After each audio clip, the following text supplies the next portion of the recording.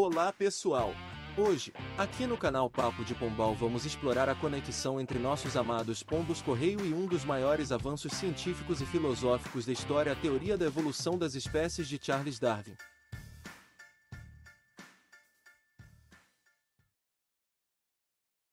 Charles Darwin, renomado por suas contribuições revolucionárias à ciência, utilizou os pombos domésticos como um elemento-chave em seus estudos. Em A Origem das Espécies, ele destacou a seleção artificial em pombos, observando suas diversas particularidades, como plumagem, características morfológicas, e o tamanho dos ovos e sua relação com a qualidade dos filhotes. Neste vídeo, vamos mostrar como essas observações de Darwin se conectam com nossa paixão e trabalho com pombos correio. Darwin ficou impressionado com a variedade de cores e padrões nas plumagens dos pombos, um resultado direto da seleção feita por criadores como nós. Ele observou como estas características não ocorriam na natureza, evidenciando o impacto da seleção humana.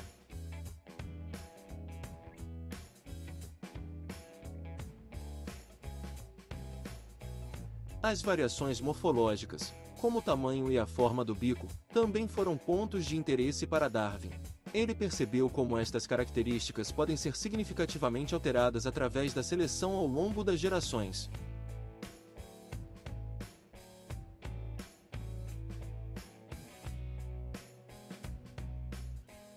A seleção visando ovos maiores e filhotes de melhor qualidade foi outro exemplo claro de seleção artificial que Darwin documentou, ilustrando como características específicas podem ser encorajadas.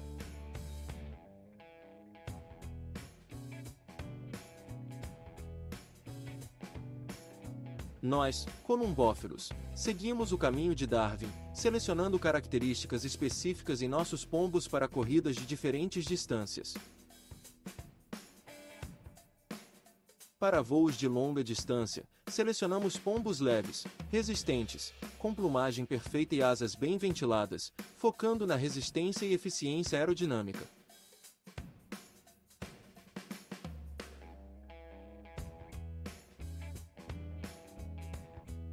Para corridas de curta distância, escolhemos pombos com musculatura desenvolvida, proporcionando uma explosão de velocidade que é crucial para o sucesso nessas competições.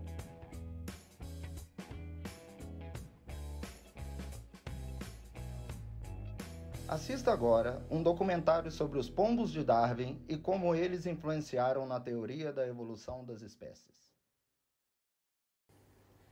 I'm Randall Keynes. I'm a great great grandson of Charles Darwin, and I'm here at the building from where The Origin of Species was published just 150 years ago to look at the fancy pigeons that Darwin used at a key point in his arguments for his theory of evolution by natural selection with John Ross, who is a pigeon breeder, judge, and exhibitor who has brought together these six species and can explain them to us.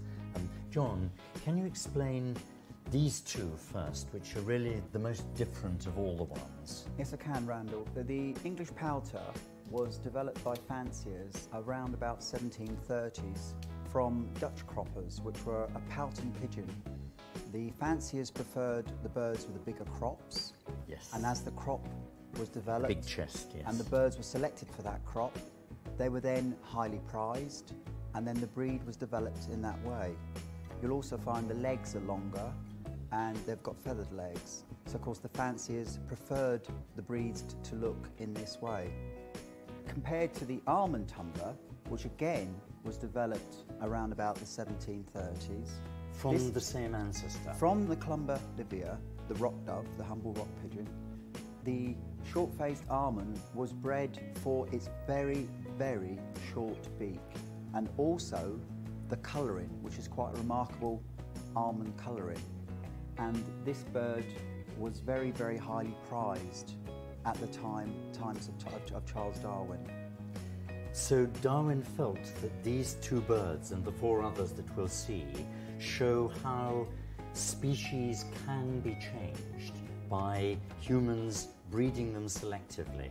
And if humans can work changes like this on descendants of one bird over just a few generations, it must be possible for nature to develop new species by natural selection. Of course, the breeds we see here today, they have taken many generations to change, but they have changed. And man has selected those changes. And uh, to see there may be as many as 250 different types of Columba livia is quite extraordinary when they've all been developed by man. Uh, just by noticing an odd coloured feather or a short beak or a large crop, that man has selected the points that he wanted to develop. And then bred them. And bred them on, them. yes. yes, yes. So what other ones do we have? Well, the other one is the, the barb. It's quite an interesting bird. And this particular bird, this particular bird has a very well-developed eye cere and an extremely short beak, coupled with a wide forehead. And Darwin was surprised that this bird was related to the carrier, albeit they look completely different. But he found that in the embryo development, for the first 24 hours, they were exactly correct. And it was extraordinary that they then they diverged after that and the beak developed longer. Again, then close cousins, the two, yes, the white yes, one. but the dark diverged one. a long Yes. time ago, definitely. The next bird, the scandaroon, Darwin liked this bird for its extremely long beak. And not only is it extremely long, it's very curved and curved downwards. And you'll also notice that it has a very red eye cere. So again, um, Darwin uh, took measurements from these birds, and that was the most extreme that he had. The fantail, which is what everybody would recognise, has this amazing amount of feathers, and in fact, it's in two rows arranged in the back. And again, um, this would have started with maybe a couple of extra tail feathers, and then it would have developed, you know, people would have liked what they saw and developed them from there. And now this bird may have up to 42 tail feathers. The carrier is the king of pigeons, or was known as that in Darwin's time, and has this very regal, stately look about him. And um, Darwin would have noticed the wattle, which resembled, they say, a large walnut. The wattle being Uh, The wattle is the, bulbous it- yeah, around the nose, around the nostril, yes. yeah. One can see, I think, very clearly here one point that Darwin was particularly interested in, and that was that the changes that humans can work by selection in this way affect not only things like the colour of the feathers, which one might reckon was easily varied, but in the case of the barb and the scandaroon, the whole shape of the bones of the skull. Of course. Darwin noticed with the uh, English pouter that the vertebrae were more numerous and the ribs were wider. So you found that even the skeleton each inside had changed, not just the external characteristics which we see today. And with the barb, the barb has the most extraordinary width to its head, which uh, no other breed appears to have. Yes. The point for Darwin about these six birds, as he explained in The Origin of Species, was that they have all been developed, as we know, from one kind of pigeon, the wild rock pigeon that is common in Europe. And they've all been developed in these extraordinarily different forms over just a few hundred years. What he suggested in this first chapter of The Origin of Species, in which he used these as the best example of just how humans, by breeding, could shape species, and so couldn't nature do it too? What he felt was that these six birds, if they were seen by an expert ornithologist who was a taxonomist, who was one an expert in naming different species and arranging them in different genera, the higher categories of kinds of bird.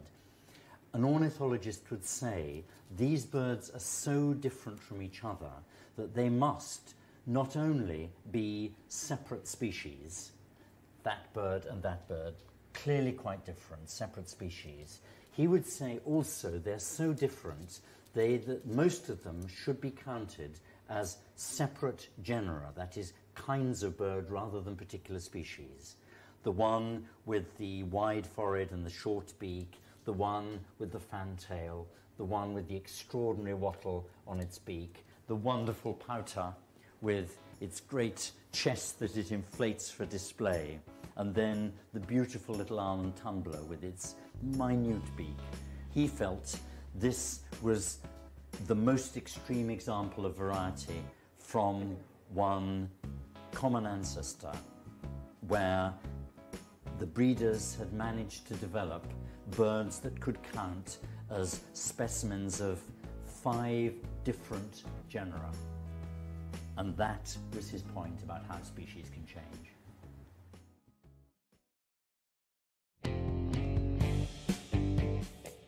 Assim, nós, criadores de pombos correio, continuamos a tradição de Darwin, aplicando os princípios de seleção para aprimorar nossas aves. Cada escolha que fazemos é um testemunho do poder da seleção artificial e um reflexo do legado deixado por Darwin na compreensão da evolução das espécies.